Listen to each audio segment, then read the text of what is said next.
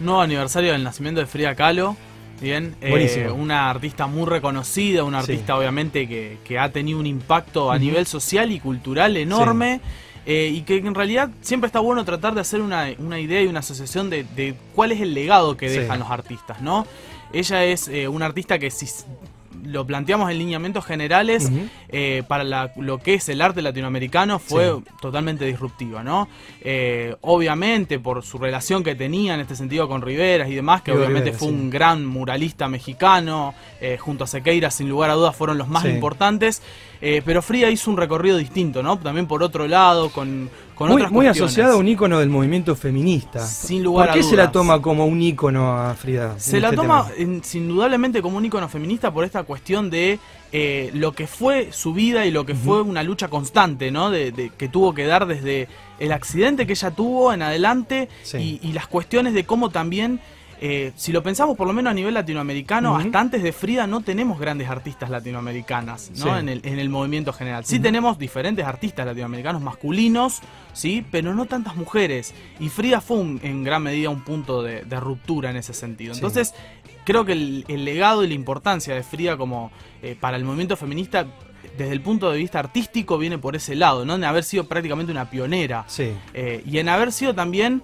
eh, un artista que desde la concepción personal, desde los aspectos personales, pudo hacer una forma novedosa de arte, ¿no? Porque siempre eh, también pudo plantear eso, que también es muy importante en los artistas, y eso fue muy notorio en el caso de ella. Bueno, como vos decías, eh, Diego Rivera tuvo una influencia muy importante. Había mucha diferencia de edad entre ella y él. Sí, había una diferencia muy, muy importante. Bueno, ellos en gran medida eh, van a ser a nivel general eh, un matrimonio muy conocido bien dentro de lo que es eh, el, ambiente artístico, por lo menos mexicano, ¿no? Siempre lo planteamos dentro de México. Pero también está indudablemente aparejado, ella tomó mucho y aprendió mucho de, Rivera en las cuestiones artísticas y demás, más allá de que no es estrictamente el mismo estilo, pero indudablemente aprendió mucho de él. y bueno, y también se da esa cuestión de que ella después a pesar de lo que aprendió, pudo hacer también su recorrido personal, ¿no? Que eso también es lo que la diferencia y lo que le dio, incluso te dirás, un carácter simbólico más importante que el de Rivera, porque Rivera fue muy importante, pero ella se convirtió realmente en un ícono.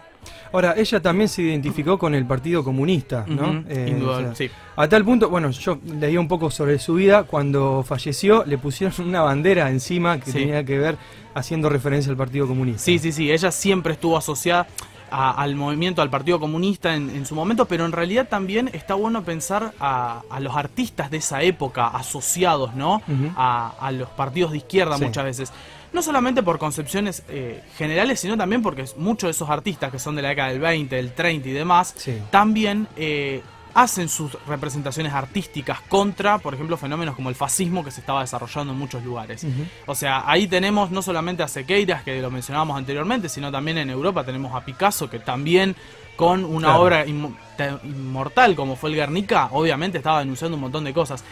En realidad todos estos artistas se piensan dentro de lo que son las vanguardias del siglo XX, que son movimientos artísticos que van contra, bien, eh, cierto status quo, contra un montón de cuestiones que estaban eh, y que venían de ciertas cuestiones tradicionales, ¿no? También lo bueno, lo que está bueno de entender de Frías es que, como decimos, fue disruptiva en un montón de cuestiones. Y el arte tiene que tener siempre eso, ¿no? Sobre todo el arte pictórico. El arte pictórico tiene que tener en algún momento esa cuestión disruptiva, ¿no? Si uno hace un recorrido, un recorrido histórico, uno ve eh, que, no sé, una obra muy conocida como La Libertad Yendo al Pueblo, que es esa obra tan emblemática y demás, tan poderosa, tan cargada y demás es disruptiva de qué? Es disruptiva de un tipo de arte que, por ejemplo, mostraba a la mujer sumisa, a la mujer que se columpiaba solamente, a la mujer de clase alta y demás. Y ahora aparece una mujer empoderada, ¿no? Entonces, el arte tiene que tener eso disruptivo. Las vanguardias que mencionábamos recién, el surrealismo, el expresionismo, vienen a romper con lo tradicional, o sea, eh, incluso Van Gogh mismo, que es un, lo,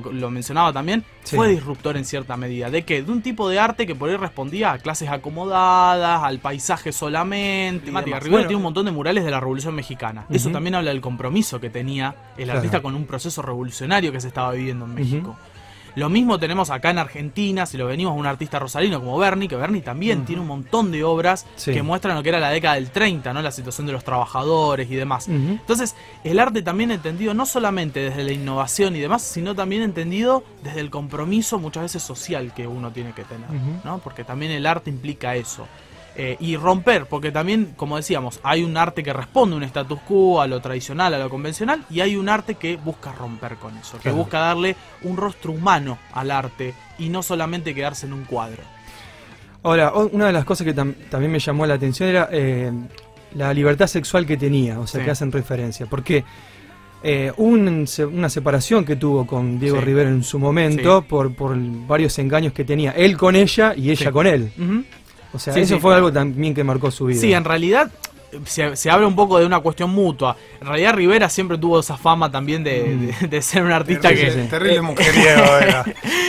Eh, así que bueno, y obviamente después se habló mucho del romance que ella tuvo con León Trotsky, ¿no? que obviamente después fue asesinado en México, bien, porque él obviamente venía escapando de, Stalin, ¿no? de la persecución que tenía dentro de la Unión Soviética, eh, y ella obviamente tuvo ahí un, un amorío con, con la figura de Trotsky, que obviamente era una figura partidaria muy importante y con mucho peso dentro de la internacional comunista. Decían también que era bisexual, que tuvo, tuvo una, romance con una actriz famosa, de una, cantante era. Sí, Sí, sí, sí, Se llegó a hablar de, que tuvo incluso algunos casos, que el caso más emblemático es el que venía mencionando Belén recién, eh, pero también hubo otros más y demás. O sea, siempre se habló de esa idea de, que ella fue muy liberal en ese sentido, muy abierta en cuanto a esos temas. Y eso también, en gran medida, creo que también eh, representó muchos años después a muchas mujeres, ¿no? en un contexto ya quizás distinto, década del 60, claro, porque en ese momento hablar de eso quizás, y más en México, un país como México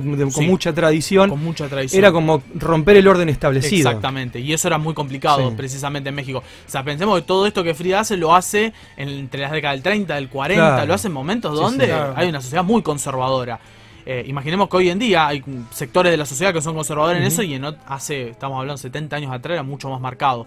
Pero precisamente como hay una nueva oleada feminista después en, la década del 60, que viene aparejada con un montón de cuestiones que, van a ir enmarcadas, bueno, el arte también lo recupera. Y ahí la figura de Frida es recuperada por esos movimientos. Y ahí hace, hace esa unión, esa articulación entre el feminismo y Frida, ¿no?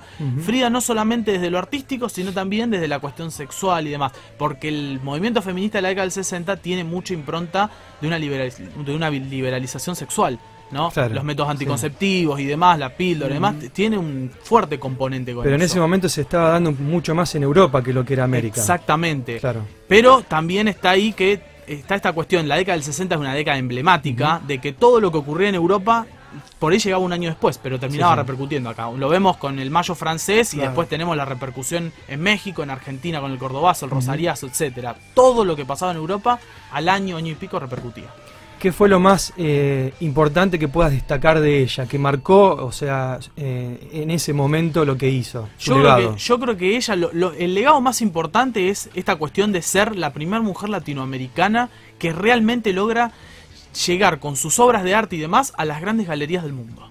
Bien, eso desde el punto de vista artístico es notorio, pero también aportar esta cuestión que decíamos, ¿no? De eh, una cuestión más social también que, podemos plantear, ¿no? Siempre lo, novedoso de Frida fue eso, hacer ese juego entre lo artístico y eh, los aspectos individuales que ella aportaba, ¿no? Que ella le, parecían importantes y, que después, 20, 30 años después, fueron retomados y entendidos o interpretados por la sociedad. Porque también con el arte pasa mucho eso, de que muchas veces un artista presenta las obras en su momento y no son entendidas. de hecho, son totalmente desestimadas.